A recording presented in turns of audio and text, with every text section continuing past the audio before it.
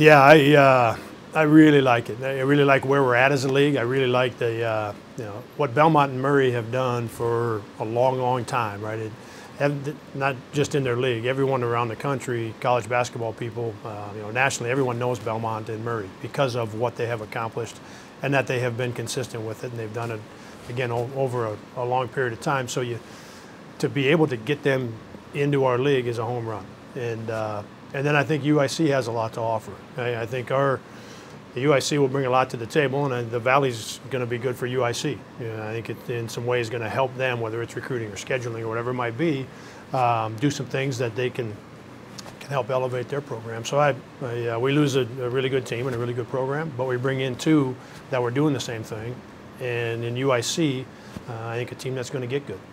Nate and Bo have you know, they've had two really good years to start their career. Uh, you know, Bowen, freshman of the year. You know, last year he hurt some bone in his hand, kind of late September. You know, so he has to go through that. Leads right into when we're playing games. So um, his November and December were a little bit out of you know a little bit out of sorts, and he had to he had to fight through that. Um, and then comes on to be sixth man of the year. Um, and then Nate's just he's been a really good two way player. I, you know, as a freshman. You know, as good a defender, you know, one of the better defenders that I've seen over, you know, my time in the league as a true freshman. Um, and then last year he was a good two-way player for us. We aren't we aren't going to change our we haven't and we don't plan to change our philosophy in terms of recruiting. Uh, and for us it's been recruiting high school players. And when the opportunity has been there to redshirt them uh, so that we can we can have our our groups together, right, for four years and five years, and they play together and they get better and they get better. And, um, and you also um, that to for me as our head coach uh, for our staff, I've always felt like that's how you build your culture. That's how you build your family. That's that's how you do this long term.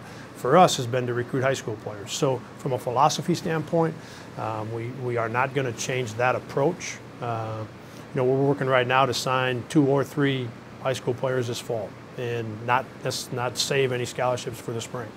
And that's a decision you have to make now, right? That you didn't have to make before. Um, we've made the decision to continue to recruit the way that we have. So for for us, our you know, the expectation um, that we have is that we're going to get as good as we can get and have as much fun as we can have, right? And that is that's each and every year, right? Now, where that starts, you know, a lot of times, yeah, based on game experience that returns, right? The guys you have returning, kind of where you start in terms of where you're at uh, early November when you start playing games. Um, but that that goal for our program, the expectation I have for our guys is that same one. we're going, yeah, we're going to work really hard, but let's get as good as we can get, and let's do it um, in a way that's going to be fun.